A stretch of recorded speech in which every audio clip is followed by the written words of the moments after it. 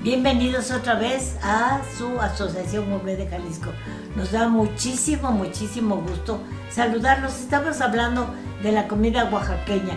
Y esta horchata que vamos a hacer es del istmo. El istmo es la parte más angosta que tenemos en Oaxaca y se hace con coco, se hace con canela y se hace con, bueno, con lo que se hace la horchata, que es el arroz. el arroz. Así es, y allá le ponen piloncillo. Si ustedes no tienen una licuadora que pueda moler el piloncillo fuerte, lo que pueden hacer es dejar remojar el piloncillo en agua para que se desbarate o ponerle azúcar, pero lo original lleva piloncillo. Y no se olviden, ¿qué es lo que tienen que hacer, Julie? Visitarnos, no se olviden de darnos like cada vez que nos visiten, compartan nuestra página para que más personas nos conozcan, pregúntenos, pídanos recetas y con mucho gusto vamos a contestarle todo lo que nos manden. Bueno, pues así es que comenzamos. Vamos a comenzar licuando el arroz. El arroz debe de estar remojado. De menos un par de horas ponerlo simplemente en agua y remojarlo con todo su almidón para que, el, que quede blandito y la licuadora pueda moler. Empezamos a preparar esta deliciosa horchata. Vamos a agregar todo el arroz. Le ponemos el coco. La receta original nos habla de que el coco hay que secarlo al sol, hay que rayarlo, hay que volverlo a poner a, secar porque este tipo de coco rallado lleva dos tipos de, dos veces de secado. Entonces busquen el mejor coco que encuentren, que esté joven para que no sepa jabón. Vamos a agregarle piloncillo o panela, que también en el sureste se llama panela. Vamos a agregarle, esto es a gusto, esto es azúcar. Acuérdense que esta es la melaza que escurre de la caña y forman estos conitos que puede haber grandes o pequeñitos como estos. Es azúcar pura quemada. Vamos a agregarle unos 3 o 4 pedacitos para ver cómo está el dulce y si no le agregamos más.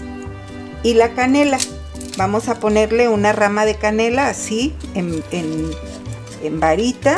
Vamos a encajarla, le vamos a poner agua a la licuadora y vamos a licuarlo hasta que todo esté perfectamente molido.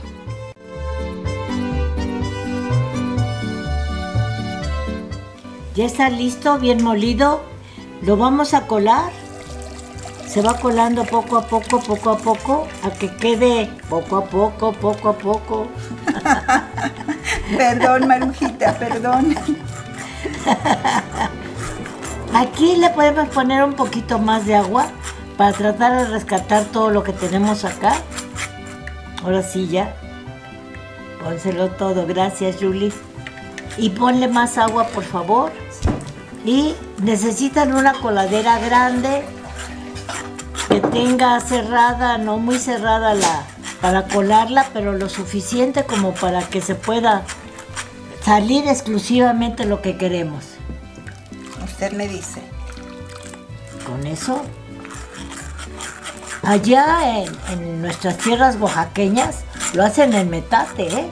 El metate es un utensilio que espero que todos conozcan. Es una piedra, piedra volcánica, es un rectángulo con una inclinación. A lo que con otra piedra, piedra contra piedra, tomado de las orillas, se muele todo lo que las señoras que saben hacerlo pueden moler ahí. Otro poquito, por favor. Y ustedes pueden continuar con esto hasta que, ahora sí que hasta que se cansen, ¿no? Ahí está. Esto irá disminuyendo y Claro, mira ya como lo que quedó. Quedó la mitad de lo que teníamos al principio. Exactamente.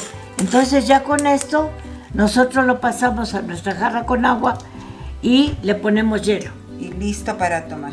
¿Te gustó? Bueno, ya está la horchata, la vamos a servir en un vaso le ponen hielo, se ponen, la pueden poner más líquida si gusten, aunque así esta textura está muy buena.